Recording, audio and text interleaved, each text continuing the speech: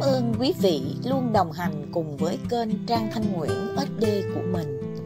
Chính sự quan tâm của quý vị là nguồn động lực để mình tiếp tục cho ra đời nhiều clip hay hơn nữa.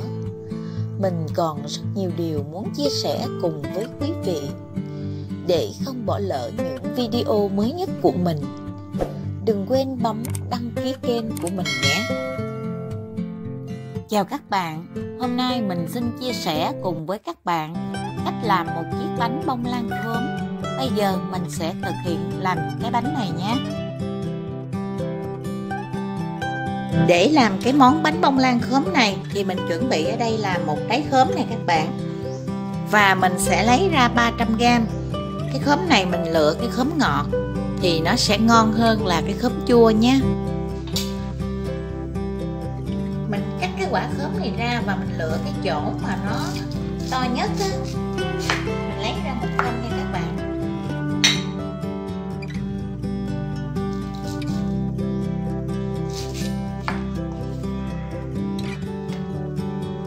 mình dùng một cái đồ chấn như thế này mình chấn cái cùi của cái khóm này ra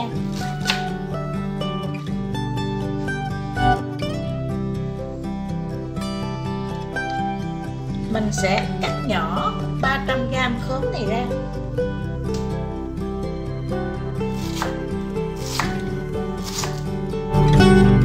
Mình sẽ xay cái phần khóm này.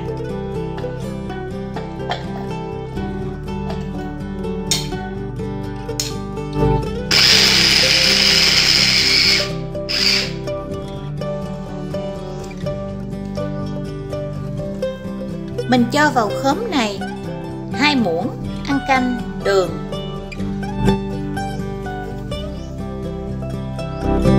Mình cũng cho vào đây nửa muỗng cà phê muối, cho nó có cái vị ngọt.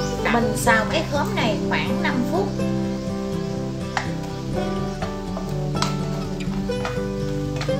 Mình xào cái khóm như thế này là được nè các bạn.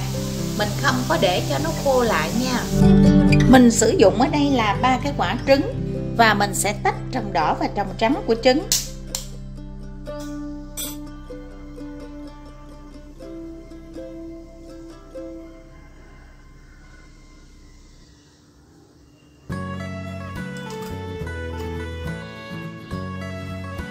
Cái trồng đỏ này mình cũng trộn cho nó đều. Mình cho vào trong cái lòng trắng trứng này nửa muỗng cà phê muối mình sẽ đánh cái lòng trắng này nha các bạn.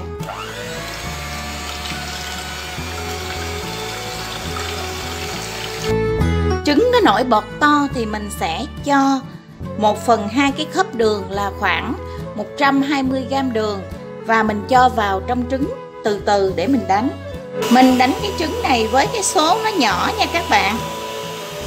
Ở đây thì mình đang đánh với cái số 2 khi trứng nó hơi đặc đặc thì mình cho tiếp đường vào.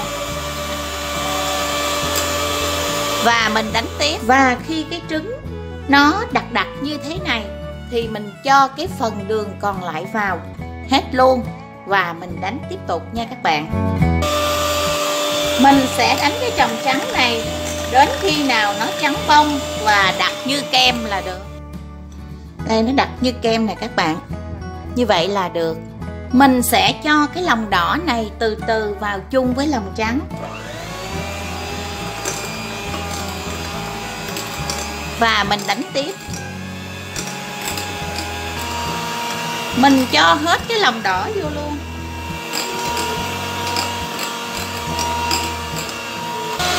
Và mình sẽ đánh cái lòng trắng và lòng đỏ trứng này cho đến khi nó thật là đặc và nó có cái màu vàng nhạt là được mình sẽ cho 1 phần tư cái khớp dầu ăn là khoảng 50g dầu vào trong cái trứng này.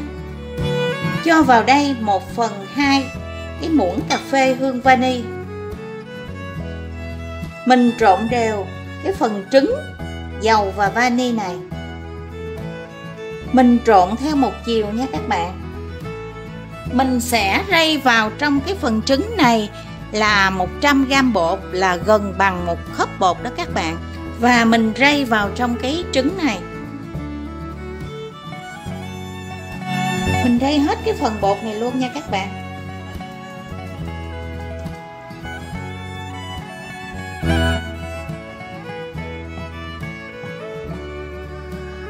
Mình trộn đến khi nào không còn thấy bột khô là được. Sau khi trứng và bột đã được trộn đều thì mình sẽ cho cái phần khóm này vào chung với trứng nha các bạn. Mình trộn đều cái phần khóm này.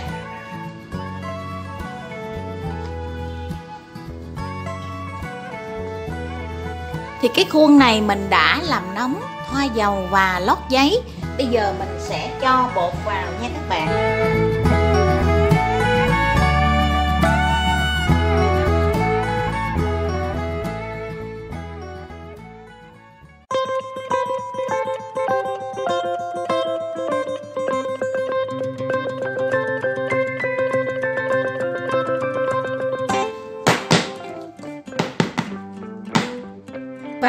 Cùng là mình cho một cái miếng khóm khi nãy mình cắt ra đó lên mặt.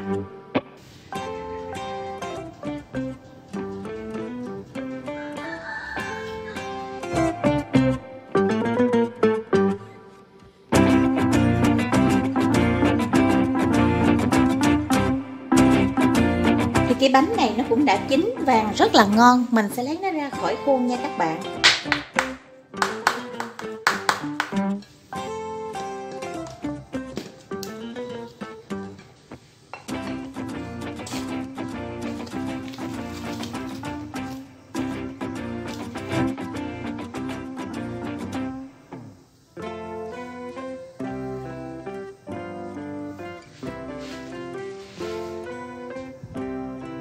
Mình sẽ cắt cái bánh này ra luôn nha các bạn.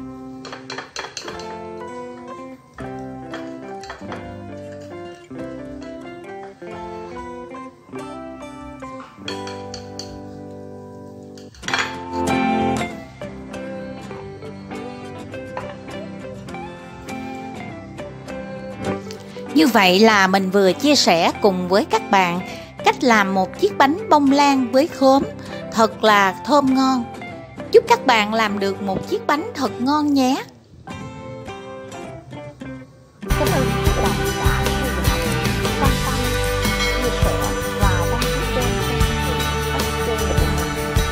Kính chúc quý vị luôn vui, khỏe. Xin kính chào và hẹn gặp lại.